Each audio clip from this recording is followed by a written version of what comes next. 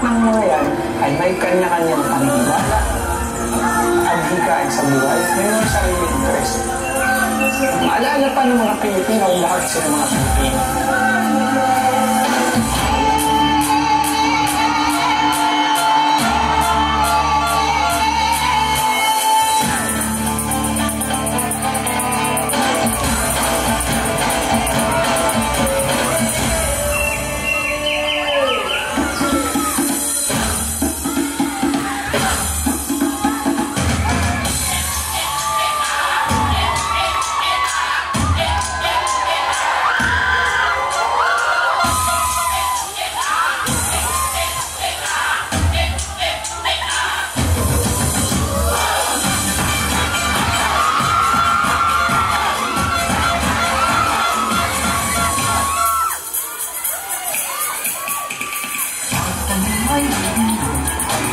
the aku, dalam aku, dalam aku